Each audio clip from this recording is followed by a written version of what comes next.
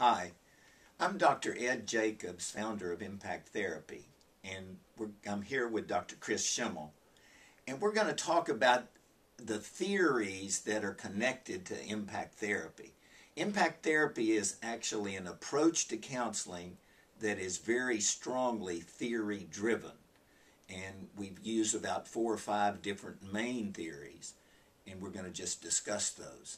The first one is the trans theoretical model, which is, I'll say a little bit about this and then I'll get Chris to say stuff. The trans theoretical model is something that, that it, it it's the stages of change, and you can Google that term if you don't aren't familiar with that. Just Google stages of change. Whenever we're doing counseling, we're always aware of what stage of change the client's in, and then we'll we'll talk about these very briefly, and, and just so that you know. But I would say, wouldn't you say that we're always thinking Oh, absolutely. Yeah. And one of the challenges, and where this becomes so helpful, is one of the challenges for school counselors, especially, is um, teachers and principals will often send a student to you uh, who's been in trouble or you know disobeyed some school rule, and they say, "Well, go to the counselor and get help for your behavior." when actually that student is not really in the frame of mind or even not realizing that they have a behavior that needs changed. So they're really in what we call pre-contemplation. And so just knowing that and being able to work with a student knowing that they're not quite open or receptive yet to receiving help is, is very helpful in my mind. Well, even what you're saying, and I think when you have mandatory clients, you think, are they in pre-contemplation or contemplation? Most of them are in that. Some clients come to you, though, they're ready to get something done and they're in preparation or action. But it's always important that you, as a counselor, be aware of what stage of change or is the person in. And I think because impact therapy is a more active approach to counseling, the stages of change model, I think, is is just oh, absolutely. Essential. I think what you said is correct. I'm never not thinking it. I'm never not thinking where is this client in relation to their level of, of or stage of change.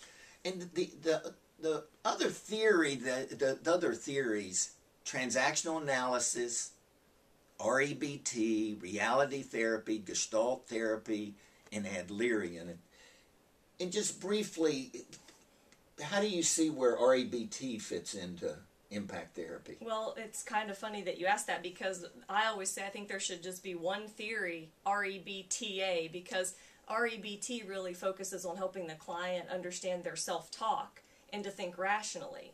And transactional analysis has this concept, contains this concept of being in one's adult or thinking. And my, I always say to you, I think, how do you think rationally if you're not in your adult? And how can you be in your adult if you're not thinking rationally? So those two theories, and they're so technique rich in technique in terms of impact therapy, what you can write or draw or multisensory technique. So those two theories, I think, are at the real heart of the impact therapy approach. Yeah, yeah I would agree that, and we're going to do some clips on TA and REBT.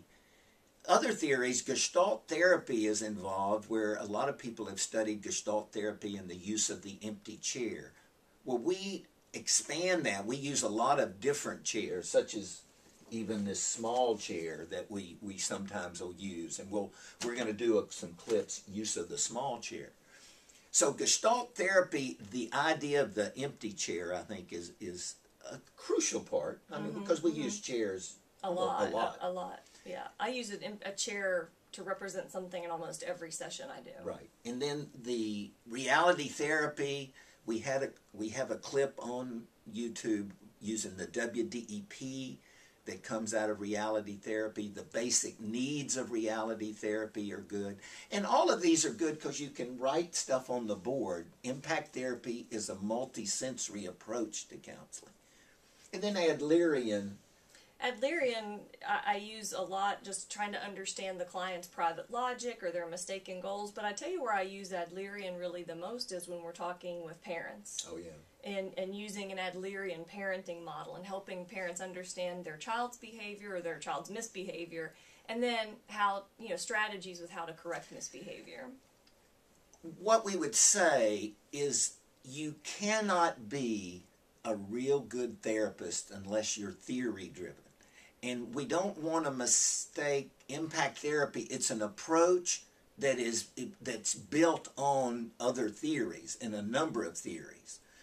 And we encourage you to go to watch the other YouTube clips or go to impacttherapy.com and you can get more information about impact therapy.